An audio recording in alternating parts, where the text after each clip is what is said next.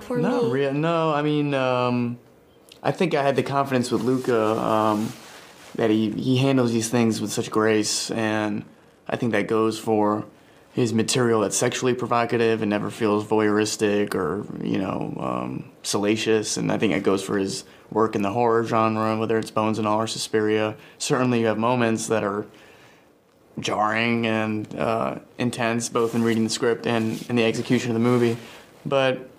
Um, I think we've all watched things that feel like overkill, and Luke is not that kind of director at all.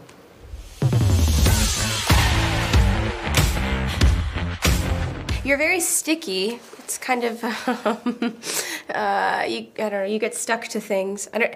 But I'm just thinking about my experience being in blood. It's kind of funny in a way. It feels.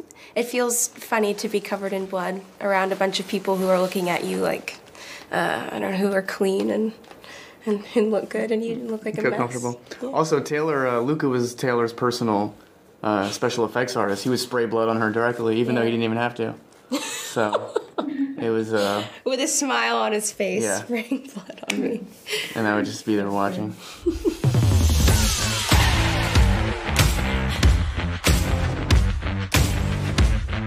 I think for me it was a feeling of being an outsider, um, and uh, I can relate that to a lot of things in life, but uh, most immediately in that period because of the COVID isolation and all the rules, just feeling like I was getting by on the stories I was telling myself about where I was in relation to the world, like a lot of people were. Um, not in some vain context, but just you know what what is this morning, what is this afternoon, and these characters, especially Lee, appealed to me because I felt like that, as opposed to the privilege of my life, and that experience coming from other things or a lockdown or something, that was his actual reality, and that was his uh, forever reality. And I thought it was beautiful that he would find himself and find a truth in himself through the through the gaze of another person, through the love of another person.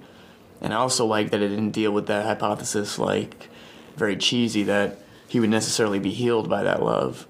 It's healing in some ways, but as Lucas said yesterday, it's also uh, being in love and experience of love can be full of pain. And uh, I love how that's captured in the story. And the cannibalism is a metaphor for that. So I don't want people to think we're nuts when we say that this is relatable, because uh, hopefully it's not in that way. But in uh, in the greater metaphor, I think it's relatable to everyone. I relate to what he said and thinking about being an outsider, especially the younger version of me, um, who I feel like I, you know, got to honor in this movie in a way, um, uh, who kind of felt like displaced most of the time and that I didn't belong and. And I think probably a lot of teenagers feel that way. Um, so it felt, you know, really cathartic and beautiful to kind of go back there uh, from the perspective where I am now, as having a lot of wonderful people in my life and feeling very, uh, you know, held in my community. but um, yeah, yeah, th- that's beautiful, and and the love in this movie is so special in the way that all, it felt like I kind of was gaining all these incredible people in my life at the same time as uh, working on something that felt really impactful and meaningful. So I don't know, that doesn't really answer your question, but that's where my mind went.